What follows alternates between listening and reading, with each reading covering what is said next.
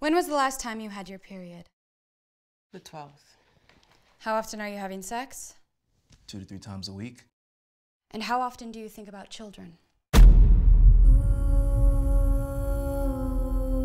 They've been destroying black families for centuries. We just sitting here letting them do it again?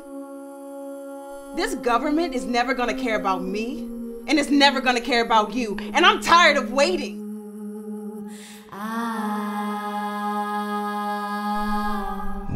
Married, I always imagined what it would be like to take my son fishing for the first time. I guess I got so caught up in trying to keep us safe that I lost sight of all of that.